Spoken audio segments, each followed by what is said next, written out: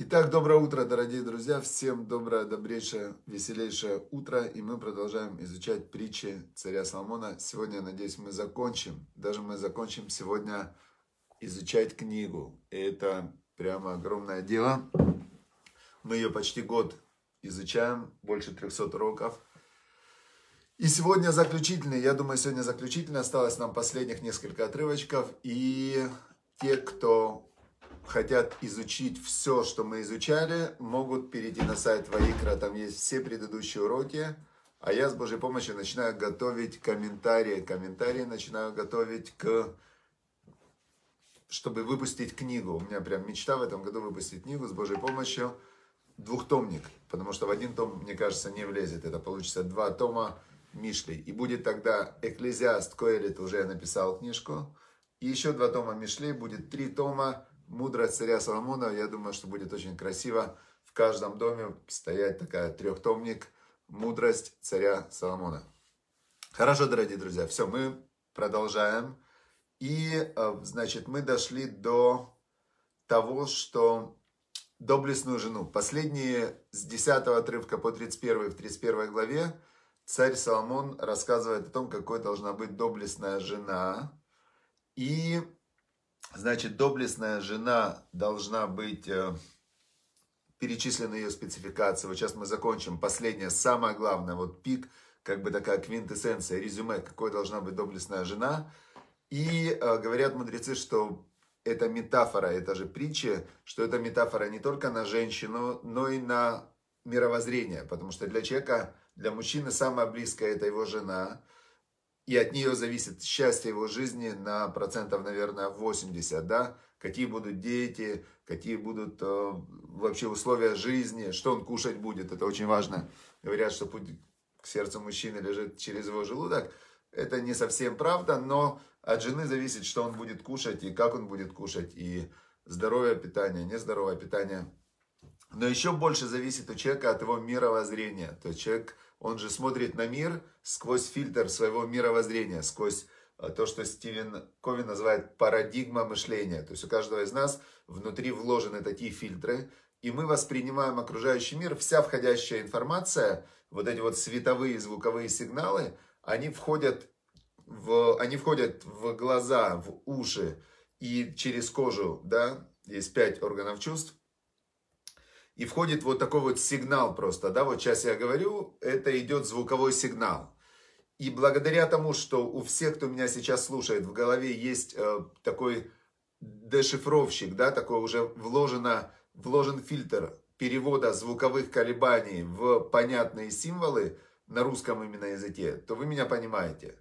То есть человек не воспринимает мир окружающий таким, какой он есть. Человек не воспринимает реальность такой, какая она есть а человек воспринимает свою картину мира, которую он формирует у себя же в мозге, в интеллекте, с помощью фильтров своего мировоззрения, так это и называется.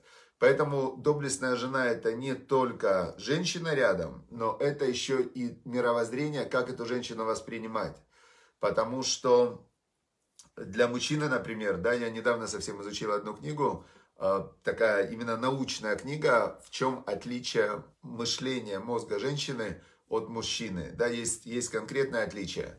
И когда у меня появилось это понимание, я стал совершенно по-другому воспринимать э, действия женщин вокруг меня, потому что у меня появилась вот такая, как знаете, как фильтр из знания, фильтр из знаний, из научных исследований, как надо воспринимать, что это значит, да, такая как расшифровка.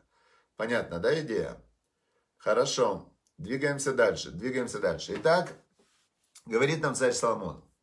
Значит, вот э, она, значит, наблюдает за всем в своем доме, и хлеба лени не ест. Это был 27 отрывок. И отсюда мы поняли с 27 отрывка, что все-таки доблестная жена, э, женщина это основа дома. То есть женщина это фундамент дома. И сущность женщины на протяжении всей истории человечества до вот вся история человечества это была держать дом. То есть воспитывать детей, держать дом. Ну, кто это может сделать? Женщина родила детей, она этих детей знает, она этих детей понимает, она с ними там 9 месяцев их в себе носила, она прямо приспособлена, чтобы с ними коммуницировать. Э, у женщин, вы знаете, у женщин лучше память, чем у мужчин. Прям вот я вам один только факт дам из этой книги, которую я прочитал. Значит, это было огромное исследование, огромная выборка, тысячи людей, тысячи людей. И, значит, вначале мужчин запускали в комнату, в комнате было очень много предметов, и 20 минут мужчины сидели в этой комнате, ждали. Им не говорили, зачем их туда в комнату посадили, просто они сидели и ждали. А, значит, потом они выходили из этой комнаты, но они сидят, ждут. Значит, что делает мужчина, который сидит в комнате и ждет? Что он делает? Если у него есть телефон, понятное дело, он в телефоне. Тут мужчина от женщин не отличается. А если телефона нету, что делает мужчина? Не знаю. В общем, решили ученые узнать, что они делают. Каждый мужчина, я не знаю, там не было написано, что они делали. Но когда они выходили, их спрашивали, скажите, пожалуйста, вот вы сейчас просидели 20 минут в комнате, э, какие предметы вы можете описать, какие предметы были в комнате? Значит, мужчины в среднем назвали 7 предметов. То есть они за 20 минут, сидя в комнате, заполненной разными вещами и предметами, запомнили 7 предметов в среднем. Женщины, которые сидели в этой же самой комнате, те же самые 20 минут, когда они выходили в среднем, могли повторить 20 предметов три раза больше. В три раза больше. То есть женщины внимательнее к окружающему миру, они замечают больше деталей, у них по-другому работает чуть-чуть э, мышление и память. Теперь говорит нам царь Соломон 3000 лет назад, он был пророк, он это исследование не видел, но он был опытный человек, во-первых, у него было 700 жен, а во-вторых, во-вторых, он от Бога получал истину, да, знание, то есть он был как, а, как рентген такой, да, как лазерный лазерный луч, который видел реальность. И он нам говорит, смотрите, значит, 28 э, отрывок. Каму бане веашруа, баала веалела. Значит, если женщина выполняет свою функцию в доме, то тогда встанут сыновья и будут ее прославлять, маму, да, потому что она их, в общем-то, воспитала. И Бала, муж ее, в Ваиалила, и он ее будет тоже прославлять. Когда поют эту песню перед шаббатом, вот завтра пятница, будем петь эту песню, то, ну, мужчины и так поют эту песню стоя. И все такие каму банея, у нас как раз в моей семье два, два сына у нас и одна дочка. И мама, значит, которая действительно реально воспитала сыновей полностью, она в них вложила все свое внимание на протяжении вот полностью все годы я в основном работал, работал, учился, значит, опять работал, опять учился, тренировался, работал, учился. То есть меня жена полностью освободила от домашнего хозяйства, от вообще, от всего. То есть, и когда мы эту песню поем, поем «Каму бане вашруа», и, значит, встают сыновья и ее прославляют, да. Бала, это я, в смысле муж ее, Валила, и он ее тоже прославляет. И что они говорят? 29 отрывок. Работ банота сухая. Много женщин э, доблестных, много женщин преуспели. Работ банота сухайль. В ад, все на нее так пальцем показывают, в и ты алит аль-кулана, а ты выше, чем они все. Значит, здесь давайте рассмотрим этот отрывок. В те годы, в те годы, в принципе, действительно, много женщин есть доблестных. То есть в, на протяжении всех тысяч лет истории человечества были, конечно, исключения. Там Жанна де Арк, да, такое вот у меня в голову, Жанна де Арк. Какое еще было исключение, которое вот э, такая там, что-то она делала, революции какие-то. Единицы. В основном женщины это были матери, домохозяйки, которые, э, которые воспитывали детей и держали дом. То есть работ, много женщин есть доблестных. И в те годы так как женщин с детства обучали, э, как вести домашнее хозяйство, то, в принципе, вот у меня, я знаю, теща моя смотрит мои уроки, так она все умеет. То есть она умеет все. Корову пасти, там, это самое, молоко доить, все умеет. И, в принципе, раньше, возьми любую женщину прошлых поколений, наши бабушки, например, они были просто, э, как, как сказать, не терминаторы, они были мастера на все руки, то есть они могли убирать, готовить, э, шить, э, прясть, э, там все могли делать, вообще все абсолютно могли делать. Поэтому 3000 лет пели эту, этот отрывок, 29 отрывок 31 главы. И абсолютно в каждом доме все говорили, работ банота сухаль, много женщин есть доблестных, которые все вышеперечисленное, то, что мы сейчас пели в главе, они это делают. В ад алит аль куляна, но ты превзошла их всех. Значит, э, это не сходится с тем, что мы учили раньше в Мишле. А что мы раньше в Мишле учили? Что, что не надо никого ни с кем сравнивать, не надо никому льстить. Как можно сказать, что ты лучше, чем они все? Это очень странно такое для, для царя Шломо относительно всему, чему он нас учил в Мишле и до этого, в притчах. Очень странное такое вот высказывание, что много женщин есть доблестных, но ты лучше, чем они все. Особенно, если за столом сидят другие женщины. Это как бы вообще получается не, ну, что-то не, не сходится здесь. Но вот обычно люди так и живут. Обычно люди так и живут, что мы замечаем какой-то пазл, и мы как бы кусочек реальности вырываем из общей картины, из-за того, что мы не видим общую картину, очень часто мы неправильно понимаем вот этот кусочек. Приведу пример, как можно неправильно понять кусочек. Один человек идет э, по городу, такой ушел он э, из деревни, такой деревенский. Раньше эту историю рассказывают сотни лет назад. И один человек приехал из деревни в город, и он идет в городе, он вообще такого никогда не видел, город. Тогда не было еще ни электричества, ни машин, но все равно много людей, большие дома. И тут он видит э, в, в одном месте Значит, он видит окно, он подходит к окну, смотрит, в мужик какой-то с ножом, другого режет. И он забегает, забирает у него нож, кричит, вызывайте полицию, надо спасти вот этого, этот же убийца, он его режет. Ему говорят, ты что вообще делаешь-то? Этот, кто с ножом, это врач, он его лечит, он его не режет. Ты просто не понимаешь, ты не видел, что написано там, что это клиника, ты не понимаешь, что есть люди-врачи, которые скальпелями режут и так далее. То есть это вот яркий пример, когда мы можем неправильно понять кусочек. Взяв фрагмент, мы не видим целую картину. Теперь здесь то же самое. Когда мы говорим, что много женщин ты сделал доблестными, а, но ты выше, чем они все, надо посмотреть следующий отрывок, 30 И в 30 тогда идет объяснение, в чем же она выше, чем они все. То есть есть много людей, которые э, уделяют внимание этому миру. То есть большинство людей, 90, ну я не знаю сколько процентов людей, там 99 процентов людей уделяют основу своего внимания, все свое время, силы. Они фокусируют на том, чтобы улучшить свое положение в этом мире. То есть они э, все время думают, вот с утра до вечера, как, э, как создать себе лучшие условия жизни, в меру своего понимания, что такое лучшие условия жизни, именно конкретно в этом мире.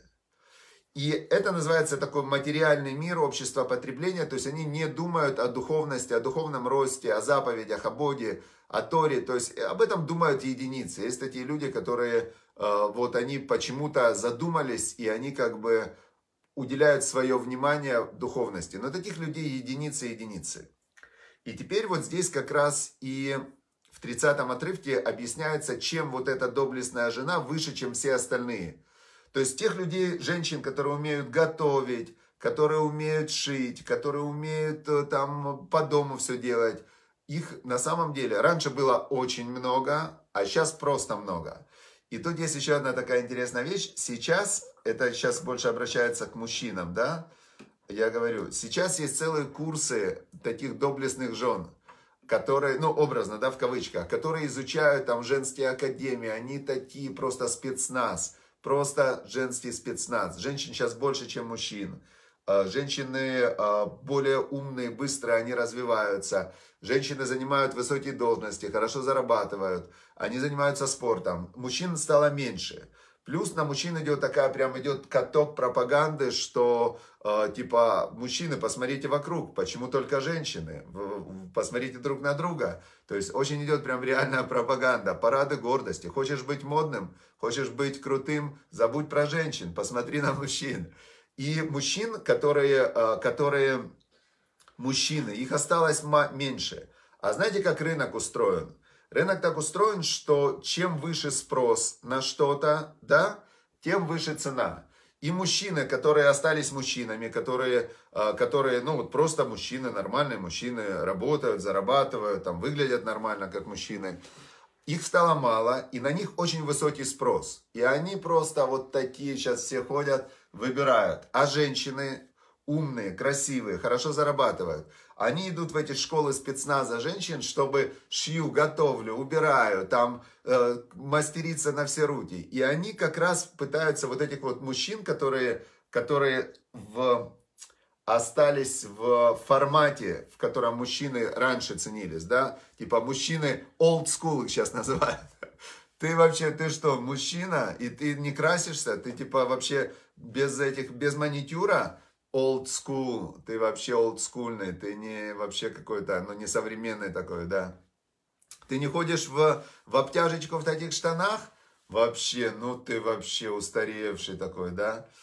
Хорошо, значит, э, так чему я это рассказывал, да? Что увлекся, увлекся темой.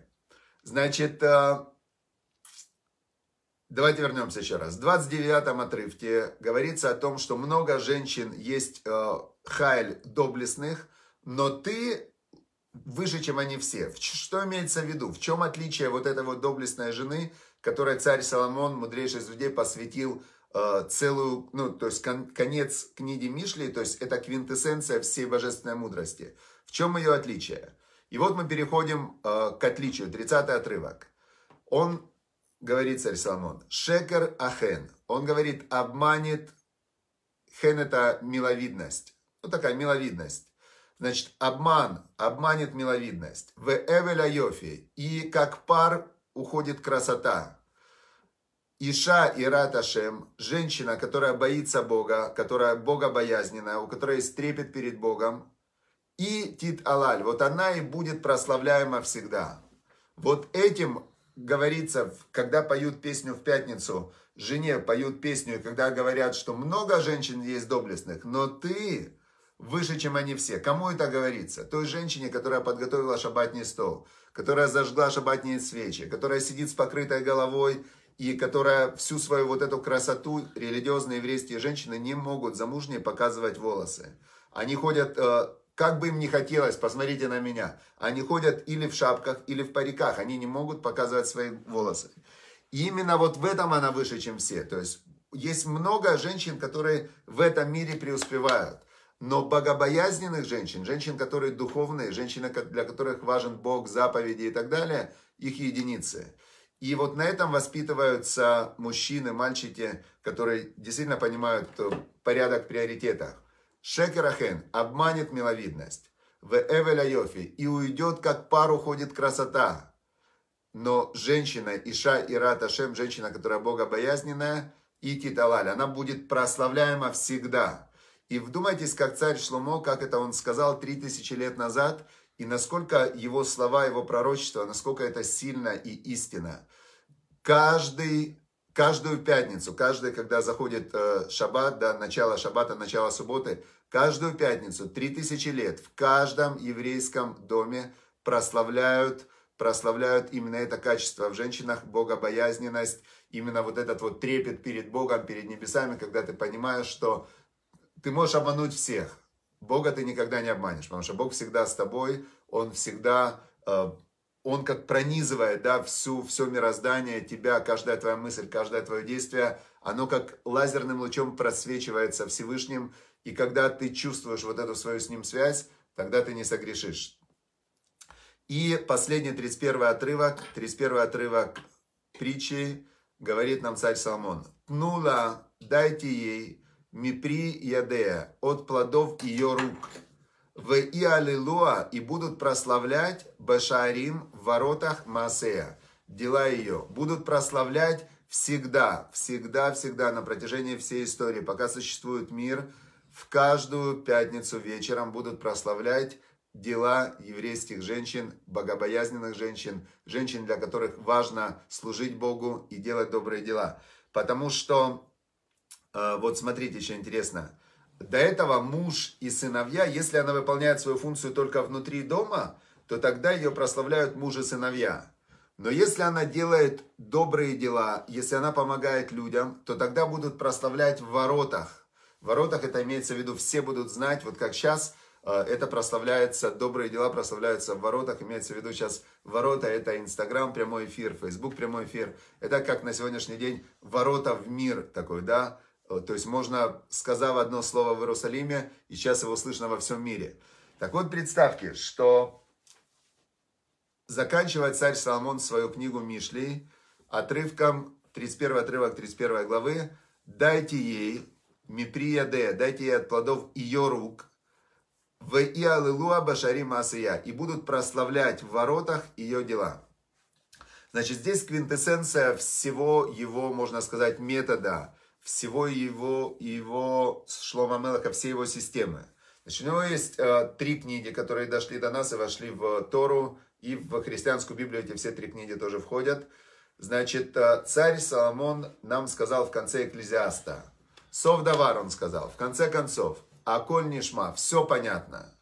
Это Латим Тира, Бога бойся, Мицватав Шмор, заповеди его соблюдай, Тизе Коля Адам, в этом весь человек. То есть для этого человек рожден, в этом суть человека, установить связь с Богом, и как эта связь проявляется в делах, в выполнении заповедей. Все, это как бы э, Каэлит, экклезиаст, это глобальная философия, вот зачем жить. Этот вопрос возникает у многих, зачем жить? И царь Соломон на него отвечает очень просто. Это ответ всем людям, мужчинам, женщинам, всем. Значит, Бога бойся, установи связь с Богом. Как установить? Через трепет, через страх – то есть это самая сильная эмоция у человека, в ней больше всего энергии, в, именно в страхе. И если у тебя этот страх, ты боишься Бога, тогда ты не боишься ничего остального. То есть страх перед Богом, он тогда перебивает все остальные страхи, и у тебя есть с ним постоянный контакт. Но, когда у тебя есть контакт с Богом, он должен выражаться в чем? В чем? Выполнении заповедей. Бога бойся, заповеди его соблюдай. Тизе колядам, в этом весь человек. Для этого человек рожден, создан, для этого создан весь этот мир, для того, чтобы человек установил связь с Богом. Теперь, как он заканчивает Мишлей? Мишлей притчи это более, это, скажем так, экклезиаст это философия, это мировоззрение. А притчи это как жить в этом мире, что делать.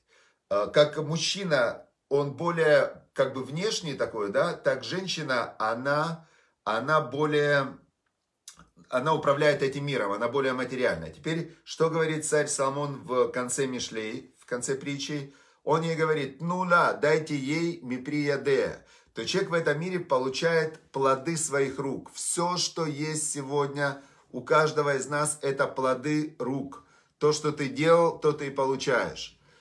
Дайте ей от плодов ее рук в и аллилуйя будут прославлять в воротах ее добрые дела. Для мужчины главное выполнение заповедей, для женщины главное ее добрые дела.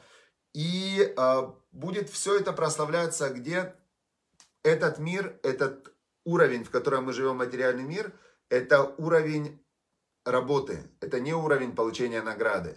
Этот мир создан для того, чтобы ты, пройдя этот этап в физическом теле, создал себе одежды для души и перешел в следующий уровень. Все, это как, э, на этом базируется вера, мировоззрение и так далее. То есть это главная часть веры в Бога, что есть вера в то, что есть бессмертие души.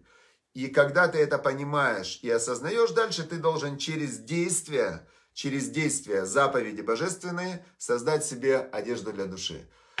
Все, мы закончили книгу Мишли, притчи царя Соломона. Слава Богу, что удостоились вообще пройти. Это уже мы, кстати, второй раз ее проходим. И Дай Бог, чтобы мы удостоились не просто ее послушать и понять, а чтобы удостоились послушать, понять, запомнить, сделать и выполнить все, что Бог от каждого из нас хочет. А, я думаю, что у каждого есть, э, у каждого есть изначально какая-то его личная миссия, его личный пазл в этом мире. И из действий каждого из нас, из э, выполнения своей части складывается счастье и уровень всего мира. Поэтому, если каждый на своем месте, в своей личной борьбе между добром и злом, выиграет в этой войне и сделает больше добра, то весь мир поднимется на следующий уровень. Если каждый в своей личной войне между добром и злом проиграет и ступит, грубо говоря, да, будет тупить, то тогда весь мир будет тоже тупить. Все, будем, а, значит, божественный свет запустим вокруг себя. Все, удачи, успехов всем. И завтра начинаем, я думаю, мы изучать, Мишли мы закончили притчи царя Соломона, завтра начинаем изучать Пертия вот. Пертия вот это поучение отцов. Есть такая часть в устной торе. И в Пертия вот э, собраны, если Мишли написано 3000 лет назад, то Пертия вот записаны 2000 лет назад, поучение отцов. И там собрана э, вот эта же часть Торы, которая говорит о том, как надо действовать. Это как психология Торы, как управлять собой, своим мышлением, своей жизнью. То есть это не заповеди в чистом виде, это подход, это мировоззрение. Вот мы будем изучать дальше поучение отцов, как э, относиться к себе, к миру, к людям, как эта вся система работает. Это то, что меня больше всего интересует. И поэтому мы будем дальше это изучать, э, в, чтобы мы все в этом хорошо разобрались. Все, удачи, успехов всем, благополучия, здоровья, добра, счастья в духовном и в материальном. Все. Счастливо.